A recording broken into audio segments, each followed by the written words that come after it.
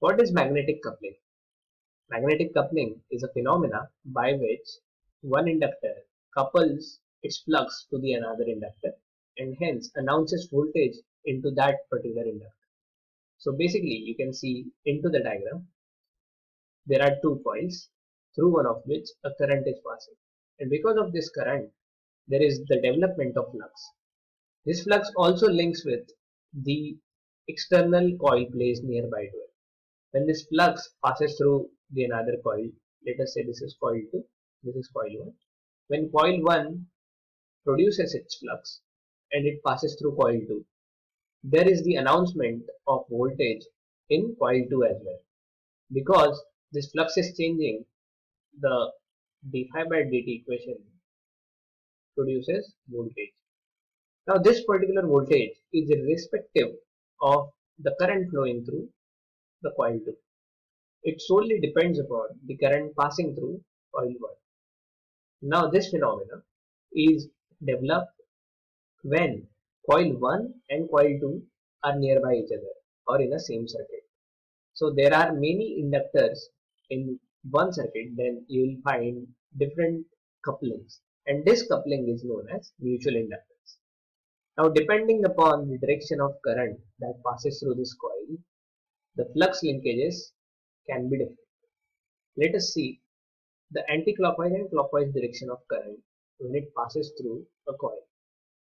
You have a coil and if you decide to see this through this direction that is the side view you will see only a circle and if current is passing through this coil two directions can be there one is anti-clockwise and another is clockwise you have right hand thumb rule to decide the direction of flux when you have current passing through the coil. So if the current is passing through curl pointing fingers if direction of flux is into the direction of your thumb. Now here as current is passing anti-clockwise you can place your right hand thumb and right hand fingers in the direction of this anti-clockwise current in this direction you will find you are pointing your thumb towards you. That means the magnetic flux is out of the page. Similarly if current is passing anti-clockwise to use the uh, right, hand thumb rule you have to curl your fingers like these.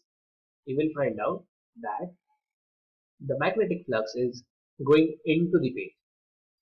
Now we have inductors in 2D shape when we show it on the page. When current passes through this, you cannot identify if current will move clockwise or anti-clockwise.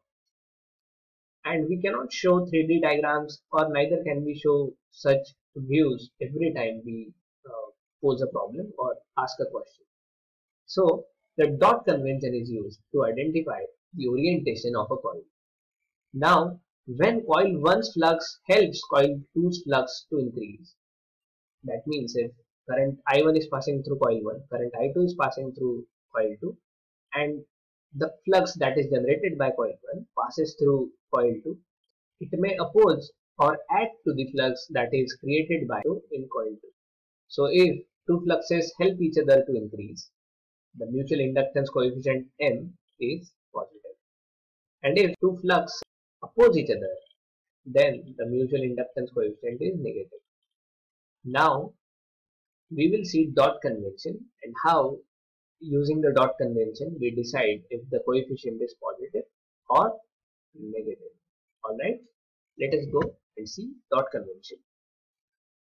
So, simply you put a dot whenever you draw an inductor to develop the orientation. So this could be any orientation, maybe anti-clockwise or clockwise orientation. If the current is entering the dot at the same time, we will take the coefficient as plus or positive. When the current is entering into one of the dot and leaving another dot at the same time alright then the coefficient of mutual inductance will be negative. In this diagram again, you have current leaving the node at the same time and hence the fluxes will help each other to increase. Now if the inductors are connected uh, like like these nearby then you have current I1 and current I2 here.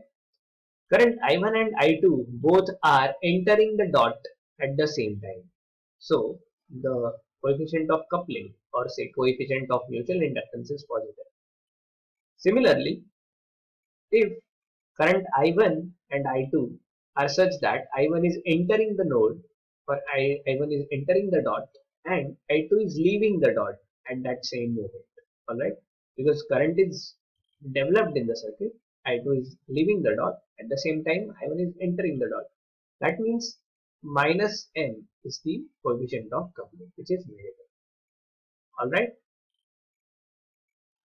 Now this phenomena or such convention is mostly important while we develop Kirchhoff's voltage law or while we develop the mesh analysis. We want to write the uh, different voltage drops at each branch and at each component. Let us see an example wherein we are going to use this dot convention. Our objective here is to find out the different KVL equations in all three loops. So as you can see there are three loops and we have already seen what is the KVL. We will be using the current to develop voltage drops and adding them to 0.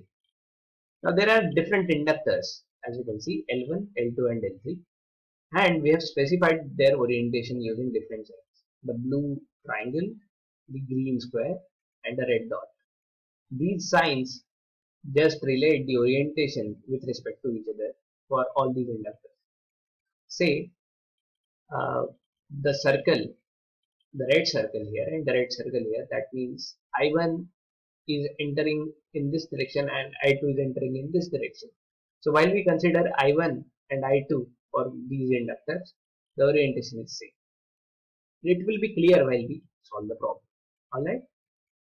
So for the loop 1 or for this loop, the equation will be Vk, Vk is equal to all these drops. So Vk is equal to the current passing through this branch I1 minus I3.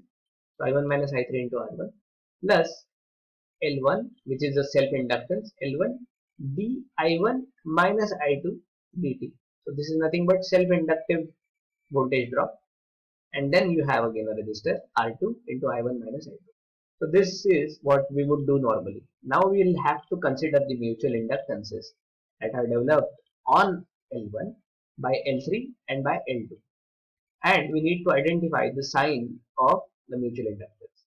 Let us say the mutual inductance on 1 by 3 is M13 and mutual inductance of 1 and 2 the effect of 2 on 1 is M12. Now we will have to find out the signs. So let us first consider the effect of 2 on 1. In 2 when L1 is driven by the current I1 minus I2 at the same time L2 is driven by current I2 alright so both the currents are entering the red dot at the same time that means the coefficient will be positive and the coefficient is M12 alright and d I2 by dt because the effect is due to I2 effect is effect is due to I2 and that is why this term is developed. Similarly, we will find out effect of L3 on L1. So the mutual inductance coefficient's magnitude is nothing but M31 but we'll have to find out the sign. Now the current is driven is I1 minus I2 passing through this which is leaving the blue triangle and at the same time I3 is entering the blue triangle. That means the coefficient of mutual inductance is negative and we'll write M13 and d I3 by dt because this mutual inductance will depend upon current I3 which is given equal to Vk. So this is how you develop the KVL equation for loop. Similarly, if you see the loop equation for 2 you will find these equation and you will write all these factors using mutual inductances. There are inductors L2 and L1 in loop 2. So we'll be using self-inductances L1 and L2 in this KVL equation. Also, the effect of L3 and L1 on L2 and effect of L2 and L3 on L1 will be considered. That is why we have four mutual inductance terms and we have decided the signs as well. Applying the same relation, we have effect of 3 on 1 as the current in this L1 is now considered I2 minus I1 because we are considering this loop. So I2 minus I1 will be considered which is entering the blue triangle and I3 is also entering the blue triangle. So effect of L3 on L1 will be positive. So we have taken M13 di3 by dt because effect is due to current passing through L3. The effect of L3 on L2, let us see.